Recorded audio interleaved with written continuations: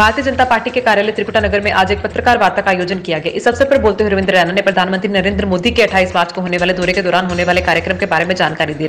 कि वो जम्मू कश्मीर के अंदर चुनावी जनसभा को संबोधित करे और प्रधानमंत्री जी ने हमारा निवेदन स्वीकार कर लिया और परसों 28 मार्च शाम तीन बजे अखनूर बाईपास डूमी गाँव में एक बहुत बड़ी जनसभा को जिसमें दो लाख से ऊपर लोग उस रैली में शामिल होने वाले हैं। माननीय प्रधानमंत्री नरेंद्र मोदी साहब इस बड़ी जनसभा को संबोधित करेंगे। बीजेपी के जम्मू पुंछ लोकसभा चुनाव के उम्मीदवार जुगल किशोर शर्मा ने आज ओल्ड सिटी जम्मू का दौरा किया। इस अवसर पर स्थानीय लोगों ने फूल बरसाकर और ढोल की थाप पर नाचकर उनका स्वागत किया।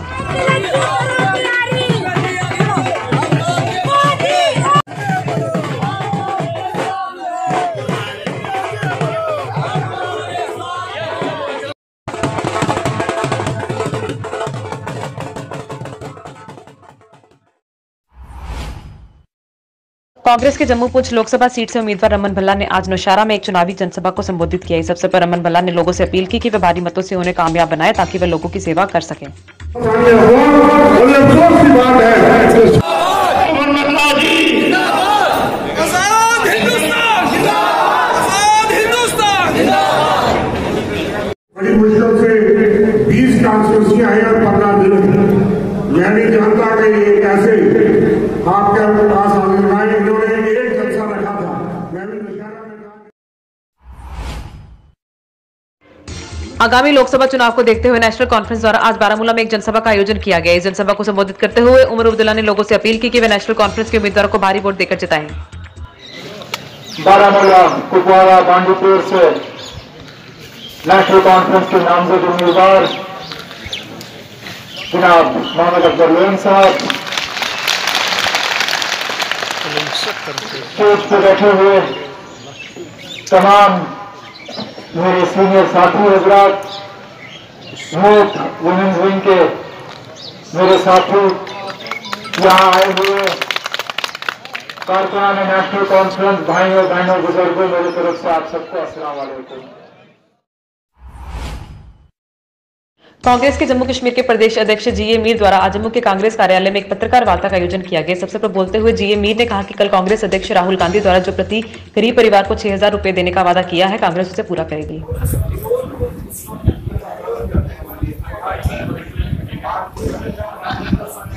नेशनल कॉन्फ्रेंस का समर्थन कांग्रेस के दो उम्मीदवारों को मिला है।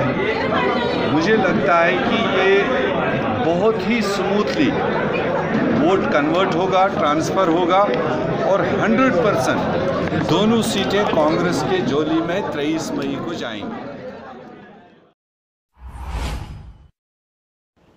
ईस्ट वाइल्ड डोडा माइग्रेंट कमेटी जम्मू द्वारा आज जम्मू के रिलीफ कमिश्नर ने अपनी मांगों को लेकर जोरदार प्रदर्शन किया। इस अवसर बोलते हुए सदस्यों ने मांग की कि कश्मीरी पंडितों की तरह उन्हें भी राशन और दूसरी सुविधाएँ उपलब्ध कराएँ क्योंकि वह भी माइग्रेंट हैं।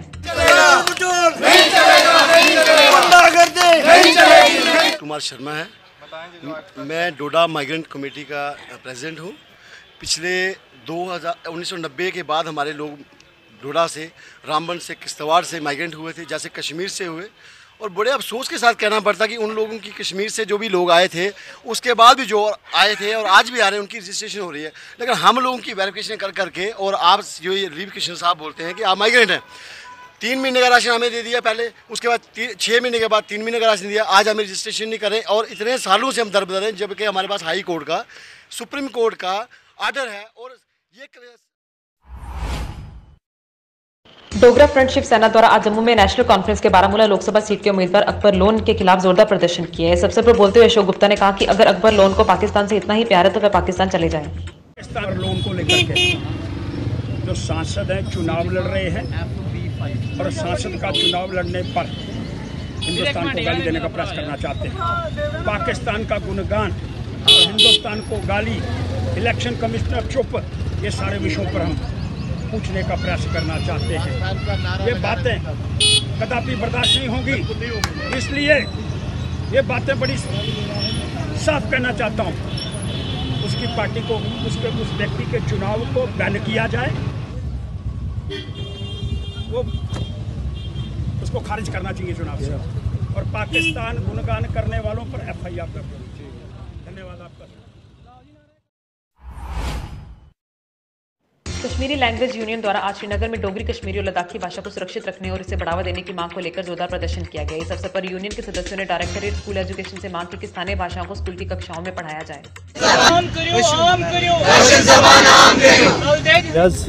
तो यहाँ पे आप देख रहे हैं कि हज़ारों में बच्चे इस प्रताप पार्क में जमा हुए हैं पुरमन तरीके से जमा हुए हैं कि आपने देखा है कि पिछले बहुत दफ़ा यहाँ पे जमा हुए हैं। किस लिए जमा हुए हैं? हमारा मुतालबा क्या है?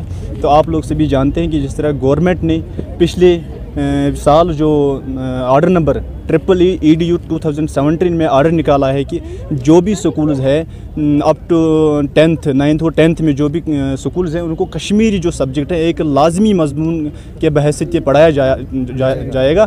तो अभी तक जो इसकी इम्प्लीमेंटेशन है जो ग्राउंड लेवल पे इसकी इम्प्लीमेंटेशन अभी कुछ नहीं दिखाई दे रहा है। आज हिंदू जागरण मंच द्वारा आज जम्मू ने जोरदार प्रदर्शन किया। इस अवसर पर बोलते हुए हिंदू जागरण मंच के कार्यकर्ताओं ने अल्पसंख्यकों पर हो रहे अत्याचारों की निंदा की और अंतर्राष्ट्रीय समुदाय से अपील की कि पाकिस्तान को आतंकवादी देश घोषित किया जाए। मैं बोलूँगा पाकिस्तान पाकिस्तान रामपाल शर्मा अध्यक्ष हिंदू जागरण मंच जम्मू कश्मीर। आज का हमारा जो धरना है प्रोटेस्ट जो है ये पाकिस्तान के अंदर अल्पसंख्यकों पर जो अत्याचार हो रहे हैं, उसके विरोध में किया जा रहा है। समुदाय से ये मांग करते हैं कि पाकिस्तान बार बार ये बोलता है कि कश्मीर के अंदर मानवाधिकारों का हनन हो रहा है। लेकिन पाकिस्तान की सरकार अपने ही देश के अंदर जो अल्पसंख्यकों के मानवाधिकारों का हनन कर रही है, उसको क्या पूछने वाला कोई है? क्या पाकिस्तान के पास इस बात का जवाब है? इसलिए हम ये चाहते हैं कि अंतर्राष्ट्रीय समुदाय जो है यूएनओ जो है वो पाकिस्तान को आतंकवादी देश घोषित करे पीएच विभाग के डेली वेजर्स द्वारा आज सुंबल पीएचसी सब डिवीज़न के बाहर अपनी मांगों को लेकर जोरदार प्रदर्शन किया और कार्यालय को ताला लगा दिया। किया गया है इसलिए है जो हमारी रुकी पड़ी सैरियज है उसको जल्द अज जल्द रिलीज़ किया जाए। और जो एस आर ओ पाँच सौ बीस है, उसको जल्द अज जल्द लागू किया जाए और इसमें जो मतलब कमी है एस आर ओ पाँच सौ बीस में, उनको दूर किया जाए। जो प्रोग्राम होगा, वो सजा साहब मतलब खुद तश्कील देंगे। अगर ज़रूरत पड़े तो पानी भी